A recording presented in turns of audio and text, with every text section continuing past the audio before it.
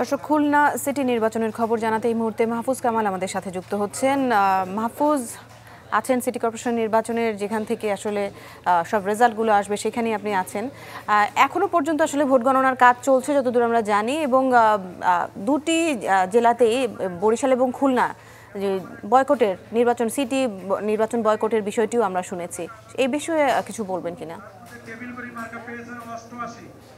বয়কটের বিষয়ে আমি আমার কাছে নতুন কোনো তথ্য নেই তবে আমি এখানে ফলাফল সম্পর্কে যদি একটু বলি সেটি হচ্ছে যে খুলনা সিটি কর্পোরেশন নির্বাচনে আওয়ামী লীগের যিনি প্রার্থী রয়েছেন তালুকদার আব্দুল খালেক তিনি প্রায় ত্রিশ হাজার ভোটে এগিয়ে আছেন।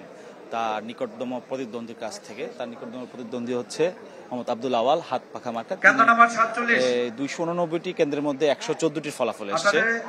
এবং একশো চোদ্দটি কেন্দ্রের ফলাফলের বিষয়ে যদি আমি একটু আপনাকে বলি দুইশো উননব্বইটি কেন্দ্রে একশো চোদ্দটি ফলাফলের মধ্যে আওয়ামী লীগের প্রার্থী তালুকদার আব্দুল খালেক তিনি পেয়েছেন পঞ্চান্ন হাজার পঞ্চান্ন ভোট।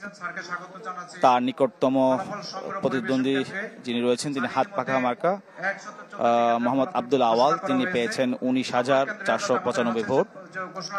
এরপর শফিকুল ইসলাম মধুর লাঙ্গল প্রতীক নিয়ে যিনি নির্বাচন করছেন তিনি পেয়েছেন পাঁচ হাজার নয়শো পনেরো ভোট। আর এ- আরও দুজন রয়েছেন।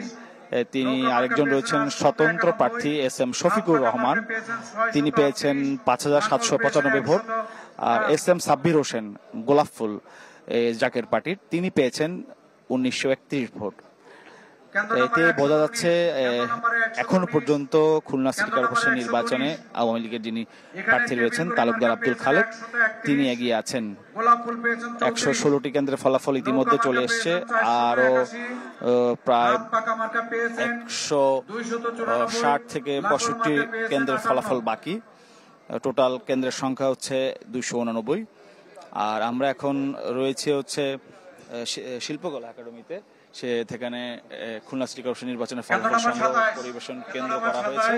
এখানে আসলে ফলাফল ঘোষণা করছেন রিটার্নিং কর্মকর্তা জনাব মোহাম্মদ আলাউদ্দিন। মার্কা পেয়েছেন 67 তিনি প্রতিটি কেন্দ্রে ফলাফল বলছেন এবং আমরা আশা করছি দশটা নাগাদ রাত দশটা নাগাদ পুরোপুরি ফলাফল জানা যাবে।